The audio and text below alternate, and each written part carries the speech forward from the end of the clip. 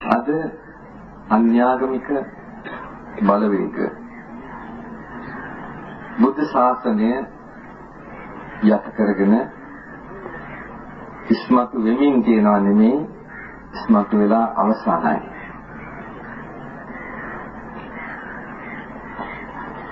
කොහොමද මේක උනේ? ආ ක්‍රිස්තියානි වෙනවා කියලා. ඇයි මිනිස්සු ක්‍රිස්තියානි වෙන්නේ?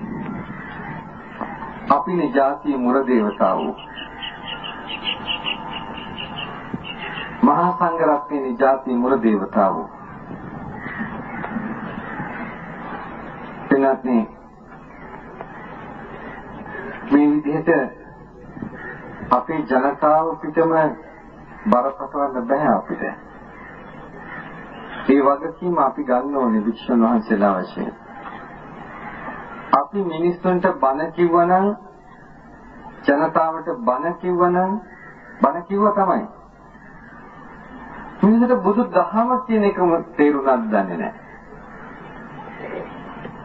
බුදු දහම තුළින් තමන්ගේ ජීවිතයට අවශ්‍ය දේ හොයාගන්නේ කොහොමද කියන එක පෙන්වා දුන්නා නම් එහෙනම් මිනිස්සු ක්‍රිස්තියානිට යන්නේ නැහැ. උදාහරණයක් වශයෙන් අපි අතීතයටම යමු. දැන් ක්‍රිස්තු වර්ෂ 1505 දී පරංගින් ලංකාවට පැමිණියා. 1948 දී ඉංග්‍රීසියෙන් ලංකාවෙන් ගියා කියමු. ඔය කාලය තුළ අවුරුදු 443ක් විතර වෙනවා. අපි දල වශයෙන් ගමු අවුරුදු 450යි කියන්නේ.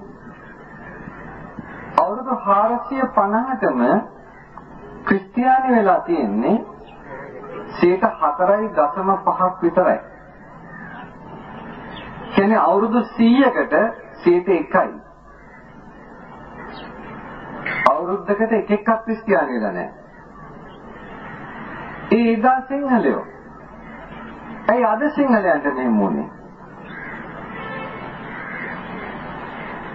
1815 දී ඉංග්‍රීසීන්ට රට පාලනය බාර දුන්නා කියමු. පාවා දුන්නා කියන්නේ නැතුව බාර දුන්නා කියමු. එතනින් ඉඳන් මේ රට අකරව දාලා ගියා. ඉංග්‍රීසියෙන් දැනගත්ත නේද?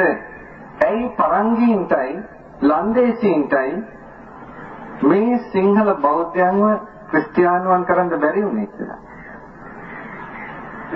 දැනගත්ත හොඳටම මේ බෞද්ධ සංස්කෘතිය කියන තොටිල්ල නැලවෙනවා සිංහලයෝ. ඒ සංස්කෘතියේ ඉන්නේ.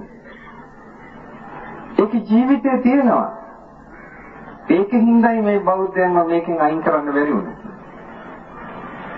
ද සුද්ධ කල්පනා කරේ සිංහලම මරන්න නෙමෙයි පරංගීන් වගේ. අර තොටිල්ලෙන් ඇදලා එළියට දාන්න. එහෙනම් බණ කියන එක තහනම්, දන් දෙන ඒවා තහනම්, බණහන ඒවා තහනම්, දලදා මාලිගාවෙත් ඒවා ආදියක් තහනම් වුණානේ. නේද? ඒක ඒවා තහනම් වුණා.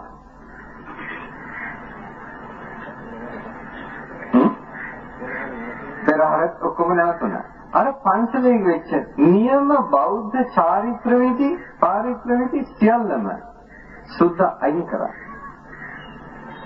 පරම්පරා පහක් හයක් තිස්සේ ඔව අයින් වෙලා එනකොට අන්තිමට එන ජනතාවට මොකද වෙන්නේ? ඒ වෙනුවට දුරාචාරය දුන්න පුළුවන් තරම්. සදාචාරයෙන් අයින් වෙන මිනිහා දුරාචාරය අල්ල ගන්නවා කියන එක පුදුමයක් නෑ.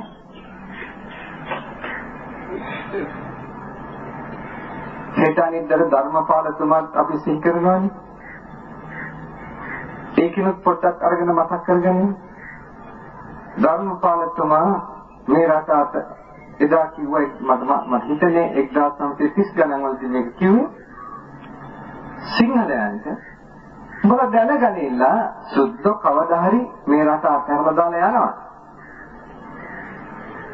ඒ යන්නේ නිකන් නෙමෙයි උන්ගේ දරුවෝ වගේ කළු සුද්ධෝ 20000ක් හදලා ඊට පස්සේ උන් තමයි මේ රට පාලනය කරන්නේ.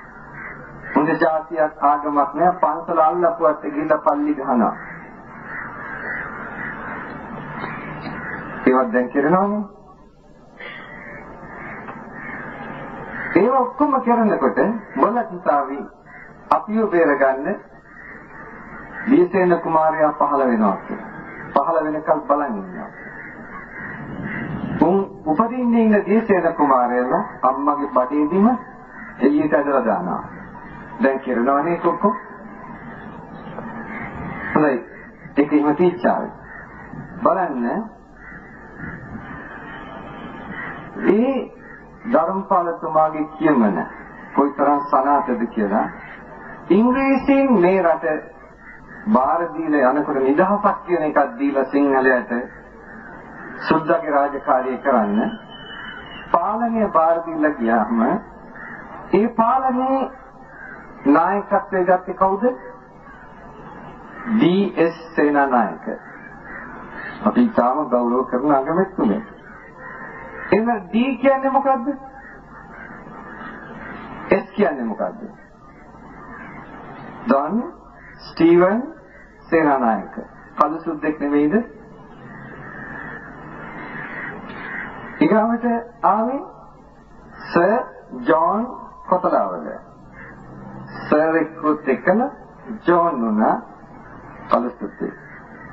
Bandaranaike S.W. Solomon West Ridgeway Dias කළු සුද්දෙක්. ඊගාවට සිරිමාව ආර්දී බණ්ඩාරනායක. බලන්න පුංචි වෙනසක් තියෙනවා. සාමාන්‍ය යන්තම් හරි ජාතික හැඟීමක් ඇතුව පොඩ්ඩක් හරි වැඩ කරන්නේ. ඈ පොඩ්ඩක් හරි වැඩ කරා. අර සිංහල ගතිය තීච්චෙන්ද. ඊගාව තමයි කවුද? ජූනියස් රිචඩ් කොච්චර සම්බන්ධද දන්නේ නැහැ. හැබැයි මුල් නම් දෙකම පලිසුත්තේ.